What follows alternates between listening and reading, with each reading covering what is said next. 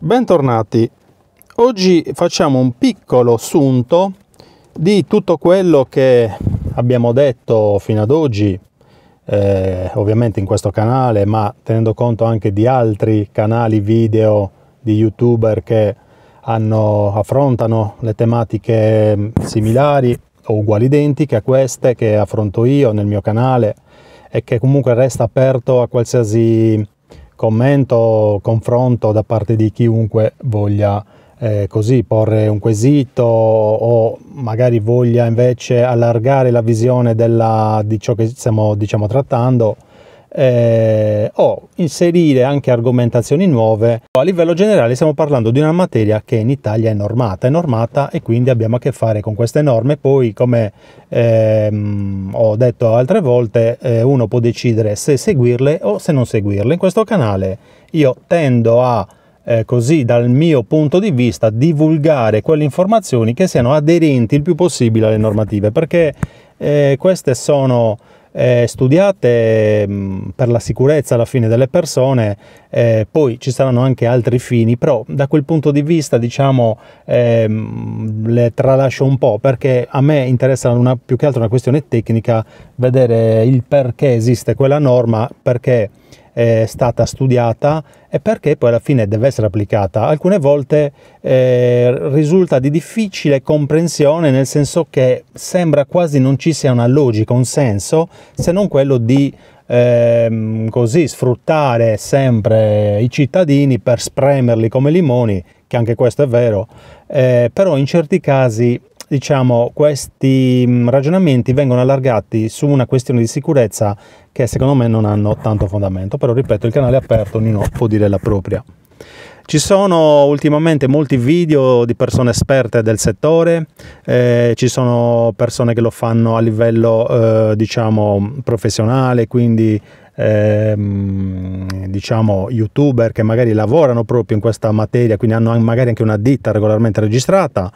eh, che vendono i prodotti, eh, li pubblicizzano e eh, quindi hanno interesse anche magari in alcuni casi a spingere su certi eh, diciamo prodotti rispetto ad altri. Quello che vorrei dire su questo canale e qui non voglio diciamo così suonarmela e cantarmela da solo però potete verificare io non vendo niente quindi non che questo sia una prova del fatto che qui vengano, si cerchi di dire un po' eh, la realtà delle cose senza spingere per una cosa o per un'altra, però io diciamo su questo canale non vendo nulla, non troverete neanche un fusibile in vendita, nulla, proprio perché voglio avere la libertà di dire quello che voglio senza che ci siano eh, sospetti vari di spingere per una cosa o per un'altra. Assolutamente no, questo ve lo posso garantire. Sì, certo, ognuno di noi, anche di voi, diciamo, ha un proprio lavoro, quindi non è che per il fatto insomma, che una persona abbia un, un dato lavoro, egli non po- quest'ultimo non possa parlare eh, di quella materia perché eh, automaticamente verrebbe considerato come parte che ha interessi eh, e quindi eh, si pensa che questa persona parlerà solo per tirare l'acqua al proprio mulino. No, ognuno può, dire, eh, può avere un pensiero su qualsiasi cosa, dirla tranquillamente e fino a prova contraria, ripeto fino a prova contraria, non credo che debba essere tacciato di avere interessi in merito anche se il suo lavoro, anche se lo fa da un punto di vista professionale, come chi lo fa da un punto di vista amatoriale, eh, col fai da te, che comunque eh, propina certi prodotti che come sapete bene io ritengo in base a alcune normative non aderenti okay, alla, mm, a ciò che dovrebbe essere fatto in Italia, però liberi di farlo, ci mancherebbe. E poi un altro piccolo appunto prima di iniziare questo breve video, spero che sia breve, è ehm, quello che ci sono tante persone che YouTube eh, danno spiegazioni, eh, lo fanno in buona fede, sono persone serie, eh, tutti quanti sbagliano, sbaglio anch'io, chiunque sbaglia, poi ci sono quelli che magari eh, con molta saccenza, con molta presunzione danno delle informazioni prendendo un po' tutti da così, da come possiamo dire, da stolti per non dire altro, perché magari sono sono rimasti 3-4 giorni a leggersi una norma, quindi ce l'hanno adesso nella loro testa ben chiara e non è che la ripresentano agli spettatori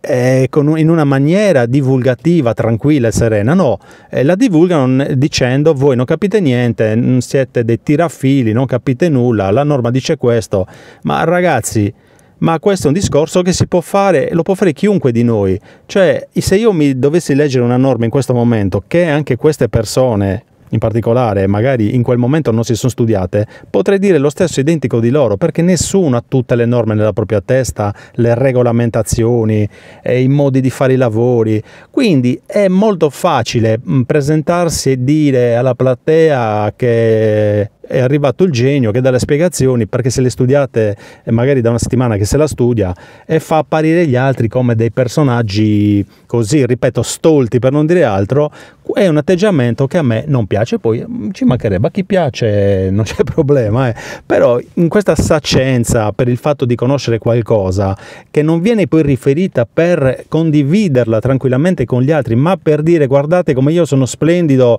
l'ho appena letta, quindi la so, chiaramente questo non, non ce lo dirà nel video, questo è un atteggiamento che non mi piace tanto perché qualsiasi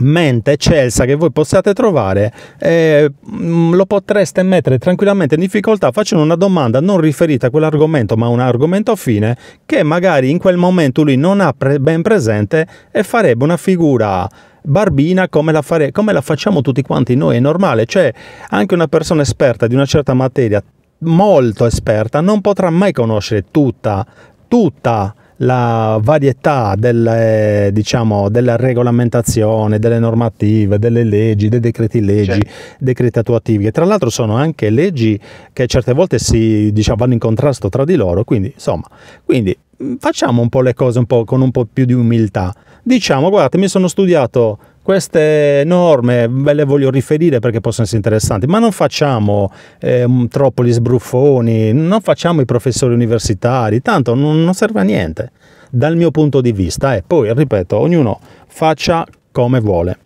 Questo è il mio pensiero. Eh, andiamo avanti. Volevo fare un piccolo riassunto, possiamo chiamarlo così, eh, di quello che sta accadendo nel mondo fotovoltaico, in questo caso questo è un video per il fotovoltaico, in riferimento allo scambio sul posto, ritiro dedicato, la convenienza di fare l'impianto, la convenienza di non farlo, eh, cioè perché può essere anche conveniente non farlo eh, in certi casi, quindi perché sapete uno se devo spendere dei soldi e pensare, già sapere che questi soldi li recupererò eventualmente in 15 anni e io magari ho 70 anni, a un certo punto dico ma chi me lo fa fare? Me ne vado al mare tutti i giorni con quei soldi per i prossimi 10 anni.